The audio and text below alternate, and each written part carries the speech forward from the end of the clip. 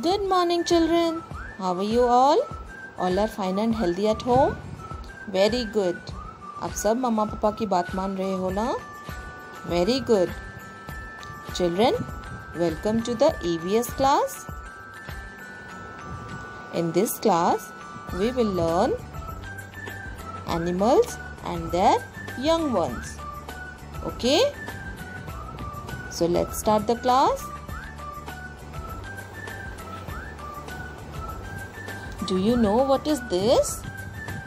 This is a cat with its young one called kitten. Cat के baby को हम kitten कहते हैं. Okay?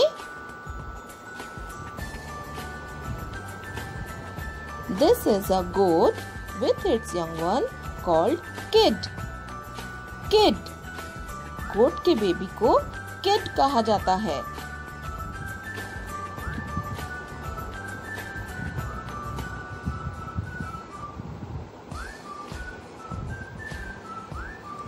Do you know what is this? Yes, this is a sheep. And do you know what its young one called? It called lamb. Lamb.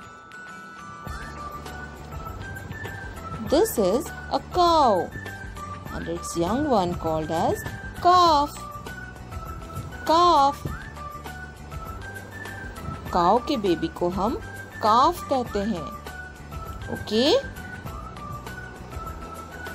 this is a hen and its young ones called as chick chick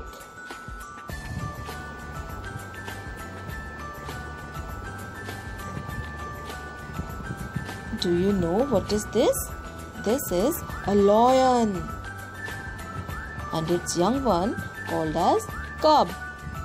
कब? Lion के baby को कब कहा जाता है? Okay?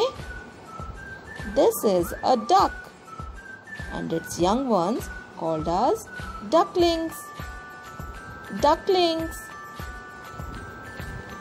duck के babies को ducklings कहा जाता है। Okay? okay? This is a dog and its young one called as puppy. Puppy. Dog के बेबी को पपी कहा जाता है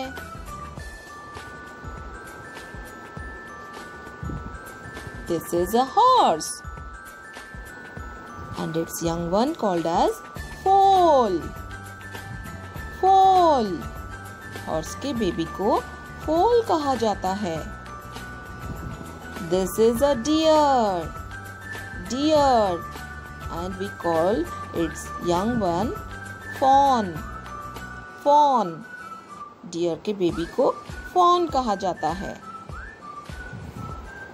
Children you can get some knowledge about some other animals and their young ones from this chart okay?